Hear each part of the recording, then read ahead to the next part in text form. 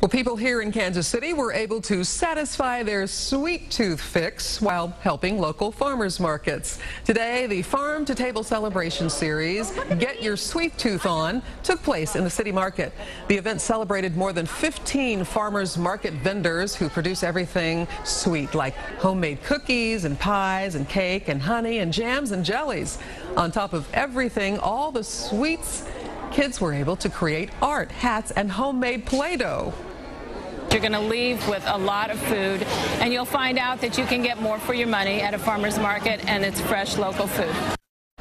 Farm to Table celebrations are held the first Saturday of each month.